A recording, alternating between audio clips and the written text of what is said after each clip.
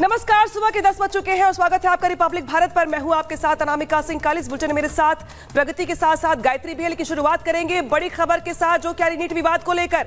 NEET विवाद मामले में थोड़ी देर में सुप्रीम कोर्ट में सुनवाई होने जा रही है। तीन तीन याचिकाओं पर आज सुप्रीम कोर्ट में सुनवाई होनी है, जिसके तहत अलग अलग जो याचिकाएँ हैं, जो इस पूरी प्रक्रिया को लेकर के, परीक्षा की पूरी प्रक्रिया को लेकर के जिस तरीके से विवाद बढ़ा, उसको लेकर सुप्रीम कोर्ट में सुनवाई होने वाली है।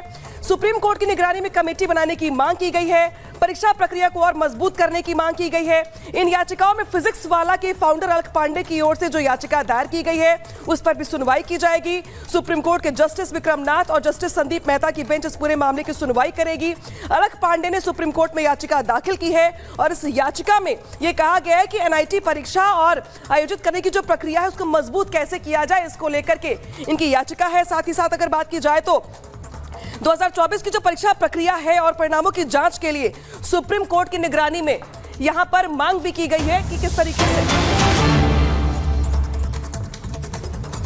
और एक और बड़ी खबर का रुख कर लेते हैं। खबर सामने आ रही है जहाँ देश में छात्रों की परेशानी किस तरीके से बढ़ती जा रही है, देख सकते हैं। रीनीट की मांग की जा रही है। सवाई माधोपुर की बात करेंगे राजस्थान के, जहाँ पर साफ़ तौर पर दिखाई दे रहा है कि दोबारा नीट परीक्षा कराई जाए। ये कहा जा रहा है, नतीजों पर सवाल खड़े हो रहे हैं। मैं तो तो नीट को लेकर के थोड़ी सी नीट को लेकर के आया हूँ talk now because without NTA permission ना आई कैन नॉट टॉक नहीं you are uh, NEET coordinator, district coordinator. No, no, no, now, now I am not the district coordinator also. Another thing. Post has been removed. Without NTA thing, you know, I cannot talk to anybody. I'm very sorry.